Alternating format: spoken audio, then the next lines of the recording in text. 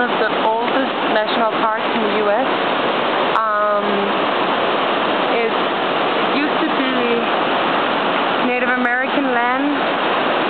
Um, then some some pioneers came, and um, at some point they started to dig for gold. And there was in the 18th century there was a lot of like conflict between the Native Americans and the gold diggers. And um, what happened was that I think in the 1830s at some point um, the army was sent in because the gold diggers complained so much about the Native Americans. Oh, did they took it down? No, it's up there. Okay. Um, We can see it.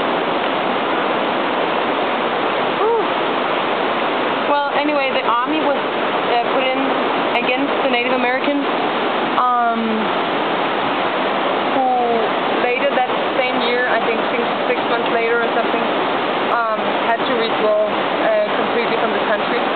And then I think in the 1840s and 50s, tourism started and has just exploded since. There's like 3.5 million visitors in Yosemite uh, every year. So far we have had a great time here. We've been driving through the Yosemite, the whole national park and all the areas. Which, uh, what are you laughing so much about? well, anyway, we've been driving through the Yosemite um, park, all the in all the areas where there's not that many people up in the mountains because we come, came from the to Nevada.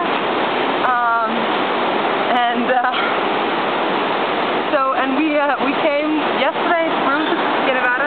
We were not that um, we were not that you can say prepared because we actually it, we didn't really discover that we were going through there because before we were actually there.